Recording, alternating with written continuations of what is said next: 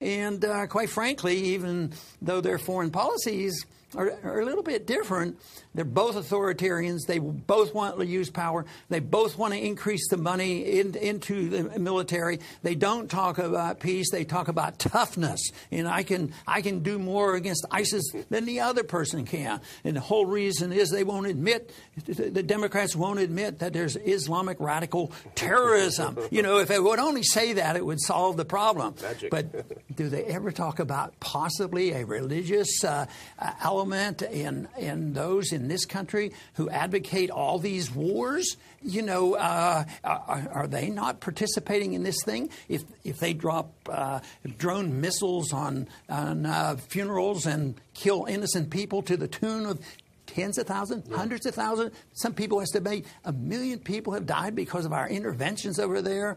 So it's um, it's it's it's, I think they're missing the, the whole point about uh, using words. But both of them use fear.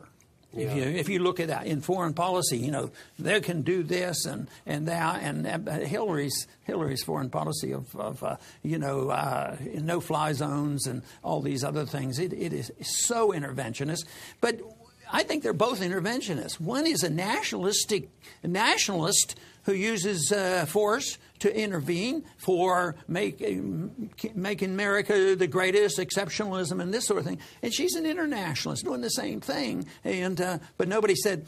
I was waiting for him to say. What's the solution to Syria? Well, bring the troops home. they didn't say that. I hope you weren't holding your breath yeah. because it would have been a bad thing. The, thing that shocked me, when you talk about talk about the Syria because that was a good part of the debate, uh, a large chunk. Uh, I was shocked at how ill informed or deceptive both candidates are. Uh, either their advisors are telling them really nothing about reality, or they're purposely obfuscating what's really happening.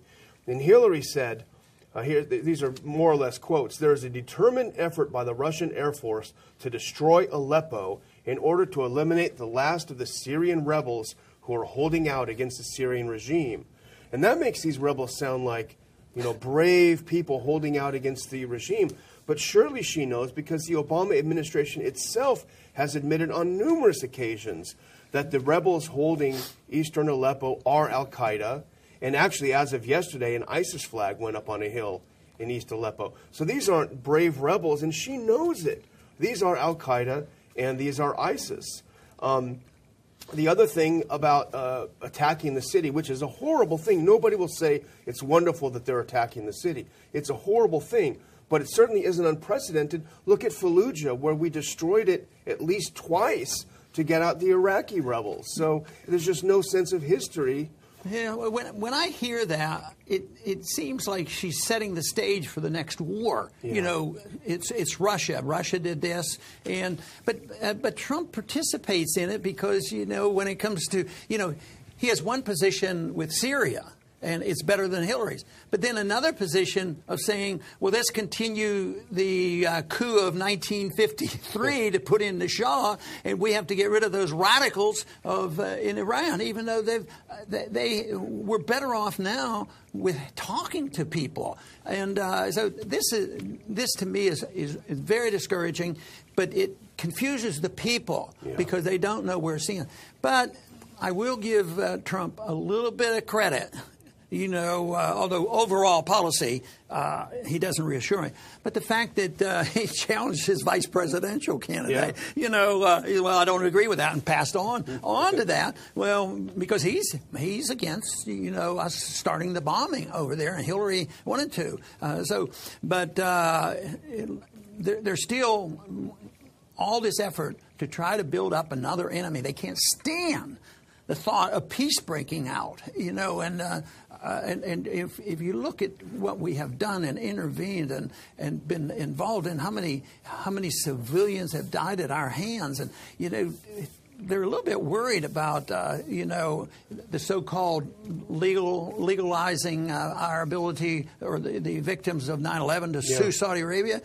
They're terrified that they could sue us, Yeah. you know, because some people died at our hands. And what some people have uh, said, uh, not uh, too many Americans, although there's some Americans that Bush committed war crimes. So they're now they're starting to, hey, maybe we've moved too fast on this. And, uh, what are we going to do now? Which is rather ironic. Yeah. You know, Trump was also apparently, to me at least, so ill-informed about Syria. I mean, I wonder who, who advises him on this because, I mean, Hillary opened the door to a great retort, but he gets it so confused, like you said, and so wrong. Uh, He, he on one hand, he praises the Russians; they're, they're they're bombing the heck out of ISIS. That's great, and then he attacks Iran, which is also bombing the heck out of ISIS, is attacking ISIS, is very actively involved in fighting ISIS, and he says it's it's all our fault that Iran is strong, and it doesn't make any sense. And the other thing he said, oh well, this is all our this is all your fault, Hillary, because we haven't modernized our nukes yet. you know, we need a trillion dollars. But I will say he said one thing that was good, and if he if he were smarter, had better advisors, I think he would develop this, because she's going on about these glorious rebels that we have to save, and he comes back with. She doesn't even know who these rebels are. Every time we take rebels, whether Iraq or elsewhere, we're arming people. And you know what happens? They end up being worse than the people before. Look what she did in Libya with Gaddafi. You know, that's a good sentiment. He needs to build on that. Like, look at every place we've been. Yeah, yeah I yeah. mean, where have we created any great democratic system where they, uh, argue for peace and prosperity and free markets? I mean, it, it hasn't existed. It's always been more chaotic uh, because we're using violence to try to impose uh, our will, and we're seen as outsiders. So even if somebody there was sympathetic, matter of fact, what happens if there are factions sympathetic to maybe the Western way of life? Once we get involved, they have to become unified, and they tend to agree with the people who say they're invaders. You know, and that's how they they ha- they get the moral high ground. I think there was a bit of that in Vietnam. We we we didn't uh, win because we were the invaders. We came a long way off, and we were killing a lot of people. But that seems to be the case. You know, whether it's uh, in Egypt or Libya or uh, any of these countries that uh, we, we we get involved and uh, not, do nothing more than cause more antagonism. And even Afghanistan, Obama, as you pointed out, he called it the good war. And now, 15 years later, the Taliban control so much territory. They control the countryside. Uh, you know, in terms of territory-wise, they control you know a lot of the country, and it's in far worse shape. How can anyone argue that it's been a success? And in, in fact, we are losing. Yeah. I would- But uh, of course, the other word I used was the forgotten war. Yeah. I just wonder if somebody did a man in the street interview with people, uh, uh, honestly, a, a man in the street interview, find out how many people, whether they know about where Aleppo is, or, but but really, uh, what the history of in the last 15 years has been, uh, you know, in Afghanistan. I mean, it's it's just astounding that we put up with this. But the uh, members of Congress, just as you know, remember the attitude they had when they were giving the authority to the president to go into uh, into Iraq. Of course, he already went into Afghanistan on his own, Yeah. you know, and, and started that war, and, and it's ongoing. And I understand it costs a little bit of money too. I mean, that's contributing to it. And we wear out the weapons. It just really makes those arms manufacturers so nervous. They're wearing out our weapons. Oh, okay. And you have both sides saying, we need to really, really rebuild the military because how you can't ever tell when they're going to invade our country. But that's beside the point. They're not worrying about invasion. They're worrying about our interests, our national security interests being attacked, which means that we might be challenged in one of these countries that we're occupying. Maybe Assad will find an ally and defend his city and defend his country, you know, regardless of all the other pros and cons on that. Nobody realizes that uh, we're on the wrong side of that. And when you think of 2011, you know, what happened in Libya and then Syria, and it's ongoing, uh, and now the troops are being added uh, to, to these areas.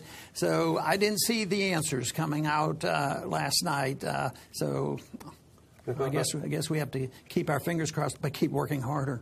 You know, the, the, the, the other thing, if you don't mind, uh, that, that I noticed uh, was Hillary came out and said to the American people, the Russians are fixing the election in favor of Trump. And she was very, very Two or three bold, times. uh, two or three times, and it was very strong. And here's, here's one thing that she said We have never in history of our country been in a situation where an adversary, a foreign power, is working so hard to influence the outcome of the elections. Believe me, they don't want me to win, to be elected. And she's, and, and very interesting, we, we, put up a piece by Peter Van Buren on our site, who we, who we know very well, and he had a great point that really someone is uh, uh, working to fix the elections, and it's not the Russian government, it's the U.S. government. Because he points out that the director of national intelligence, just a couple of days before this debate, you remember the end of last week, came out with a statement saying the Russians did it. The Russians hacked the DNC. And here was, here's what he offered as his conclusive proof that they did. The recent hacked email disclosures are consistent with methods and motivations of Russian detect, directed efforts. Is that a smoking gun? That's not even a squirt gun. yeah. But you know what would be an interesting statistic if somebody could dig up and find out every time our CIA was involved in manipulating elections around the world, all the way back to Diem in, in Vietnam and other places. Matter of fact, in Central America, even before that, for 100 years, we, we've been involved in, in, in setting up dictators. I mean, that's, that's the American tradition. That must be what we call American exceptionalism. we, we, can, can set it. up governments any place we want. Well, remember that there's a, the Time magazine that ran after the second Yeltsin election that had a picture of the buffoonish looking Yeltsin and it said, Yanks to the rescue and the subtitle was something about how Americans helped to reelect uh, Yeltsin, if that's not interference. but, you know, Peter points out why would the Russians risk a cyber war with the U.S. to put Trump in office? Because Trump, you know, has, as you've pointed out many times, neocon tendencies. He's a hothead. You pointed out he's likely to put his finger on the button. Where for all of Hillary's bluster, she's a career politician. She's somewhat of a realist. She's a known known you would think that the Russians would hedge their bets on a known known rather than a hothead. So it's not it's not you know prima facie it's not in, in, obvious that, that, that they would want to have Trump elected in the first place. For those individuals out there who still believe that the neocons have drifted over and been open, you know, the Bushes endorsing uh, Hillary, that's pretty significant. But, uh, you know, Trump uh, has a little bit of neocon support and it continues to grow. Yeah. So uh, the evidence is there. So if they question what you're saying, they ought to go and look and just find out uh, how, many, how many individuals that are considered neocons. And uh, he, he's, he's not the, guy that's saying bring the troops home. He, he wants to be a tough person.